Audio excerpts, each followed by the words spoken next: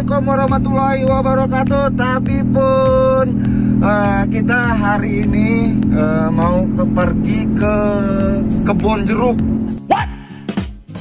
Bukan kebun jeruk Jakarta ya, maksudnya di kebun jeruk Desa Agom. Ini lagi viral juga tempat wisata kebun jeruk di Desa Agom. Gua mau tahu aja bener apa enggak sih di sana itu masuk 5000 Terus kita makan jeruk sepuasnya. Wah, ini menarik banget nih ya. Bayar tip bayar masuknya itu ribu rupiah. Terus lo bisa uh, nikmati suasana kebun jeruk dan langsung bisa metik jeruk dan makan di tempat. Keren banget. Kita uh, ikuti terus treknya berapa jaraknya nanti gua uh, tayangin juga di dalam video. Jujur, gas gas. Dari kota Kalianda, kita menuju arah Bandar Lampung sekitar 6,38 km dari kota Kalianda. Nanti ada pertigaan Wayarong, lalu kita belok kanan. Kita terus saja sampai ketemu flyover sejauh 2 km. Nah, ini jalan ini kita lurus saja.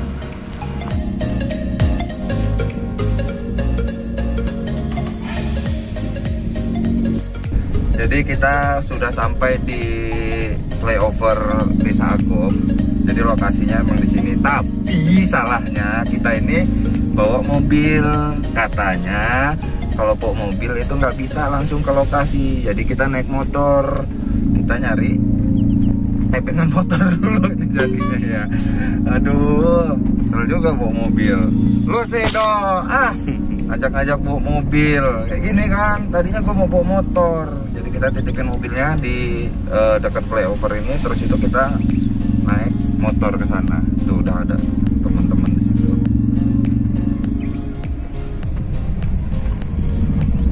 Jadi kita naik motor dulu. Kita ditepengin sama abang-abang ini. Naik motor. Untung aja ada tepengan udah yuk kita lanjut naik motor ya lewatin flyover ini.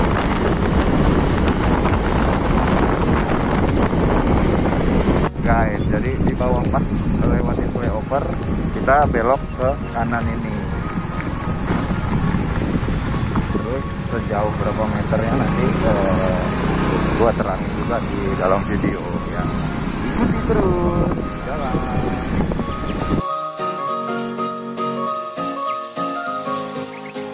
kita belok kiri.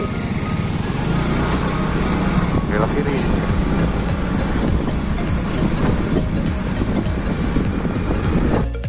Nah kenapa kita alasannya uh, mobil nggak bisa masuk sini? Karena guys tuh lu lihat sendiri jalannya begini. Jadi uh, buat teman-teman semua yang mau ke sini lebih baiknya uh, naik motor aja jangan naik mobil. Ya kalau terpaksa mau naik mobil ya seenggaknya lu ngojek lah sama warga sini untuk menganterin ke sini. Ini perjalanan kita kurang lebih sudah sampai 500 meteran lah ya dari tikungan bypass tadi. Eko Bayi Oh no.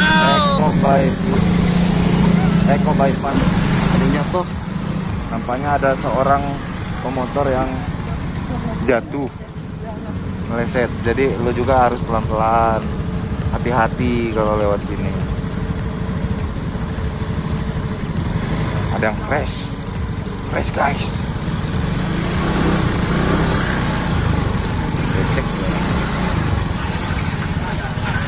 Gak apa-apa bang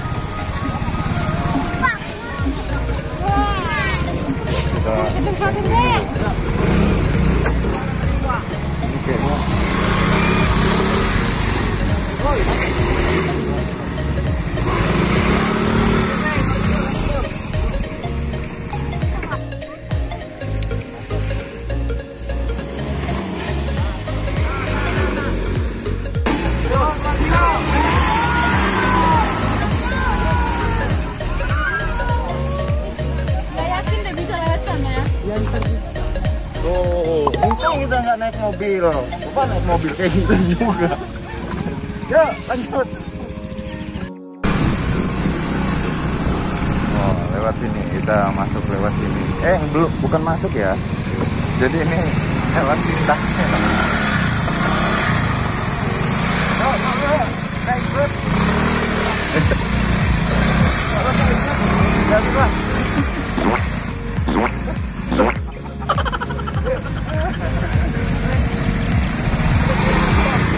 yang digonceng harus turun.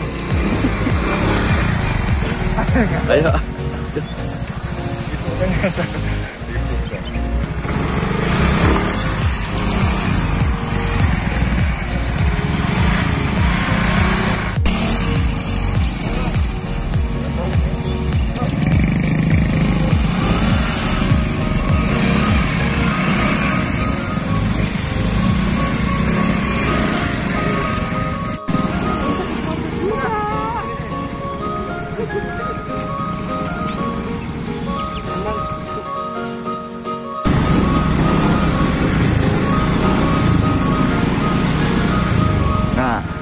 Alhamdulillah kita sudah sampai di parkirannya.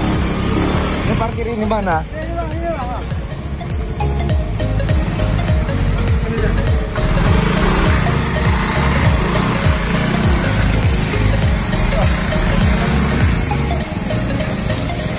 Kita sudah sampai lokasi kebun jeruk. Ini parkirannya, nampak banyak sekali ya motor-motor di sini. Eh, karena ini viral banget di sosial media. Dan parkirannya serang ini jadi langsung aja kita masuk ke lokasi kebun jeruk.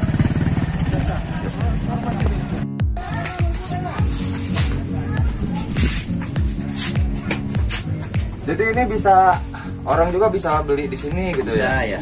Sekilonya berapa sih? Sepuluh ribu.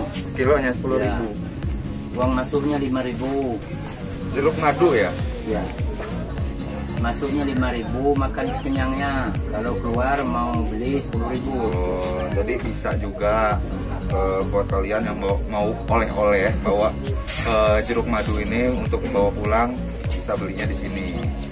Jadi kalau mau masuk ke dalam itu eh, tiket masuknya 5.000 5.000. itu makan jeruk sepuasnya Sepuasnya. di dalam kebun jeruk itu. ya Keren banget. Kita nanti kita coba ini oleh-oleh buat emak gua. ya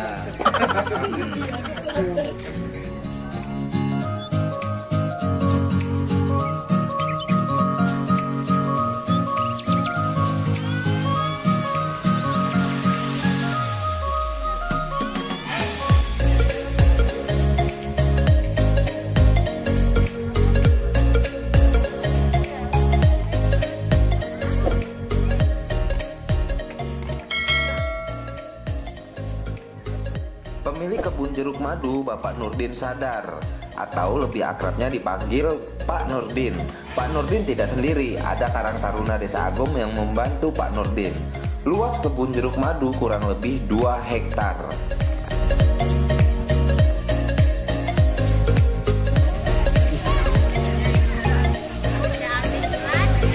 Nah, jadi eh, lu bisa istirahat di sini ya di kebun jeruk ini gelar tiker. Yang jelasnya lu di sini kan udah bayar tuh. Jadi terserah mau metik mau apa lu mau tidur tiduran sambil metik sambil makan jeruk ya terserah lu di sini. Udah hak lu cuman bayar 5000 lu murah banget.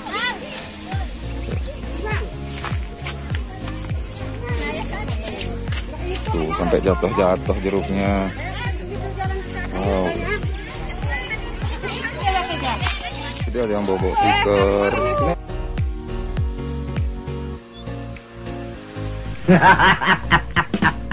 Ini emang buat buat istirahat sih di sini.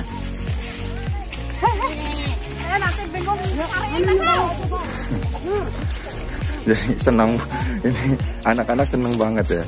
Langsung larinya tuh mereka mau nyari jeruk.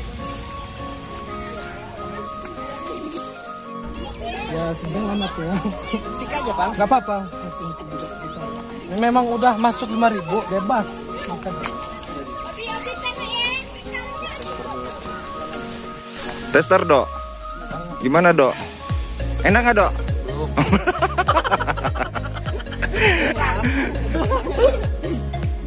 Yo, gayanya, gayanya kecut kaget gua. Orang ini jeruk madu masa iya kecut. Wah, ngagetin aja lu. Sip ya. Manis, manis. Sampai jatuh-jatuh jeruknya.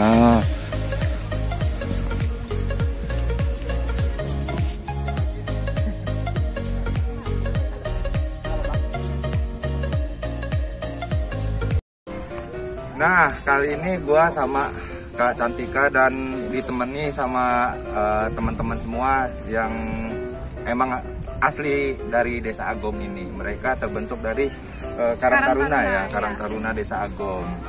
IG-nya juga ada loh Karang Taruna Desa Karang Taruna Agom. Desa Agom, follow ya, ya. tuh di follow. Jangan lupa. Eh, Kak Cantika, di sini kan banyak sih pengunjung ya. Mungkin mereka juga nggak tahu eh, mana yang membedakan jeruk matang dan jeruk yang masih mentah gitu. Kak, Kak Cantika masih bisa nggak sih eh, tunjukin mana yang kira-kira matang sama enggak perbedaannya apa? Perbedaannya ya mungkin bisa ya kita sambil pegang gitu kan Hmm. udah empuk gitu kan. Dipencet-pencet gitu yang kira-kira empuk itu udah matang. Udah mateng gitu. Kalau masih keras itu masih mentah. Jadi kan jangan membedakan itu kecil ataupun besar. Mateng warnanya tetap sama. Heeh, jadi walaupun matang tetap hijau warnanya. Di sini kan banyakannya hijau. Mungkin oh ini mah mentah-mentah matang kok. Emang ini kayak gini hijau warnanya. Kalau yang kuning di bawah nih. nah, mau ngambil ini di bawah banyak. Eh, Oke, jadi itu perbedaannya.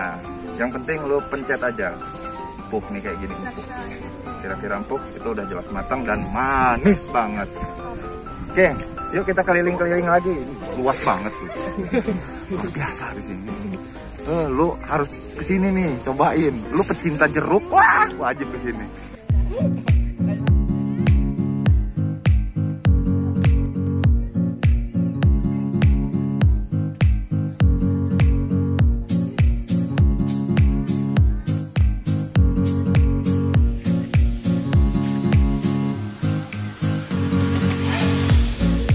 Selain beli di depan jeruknya, kalian juga bisa beli tapi metik sendiri di kebun jeruk madu. Saya gua pengen bawa oleh-oleh, tapi gue pengennya metik sendiri.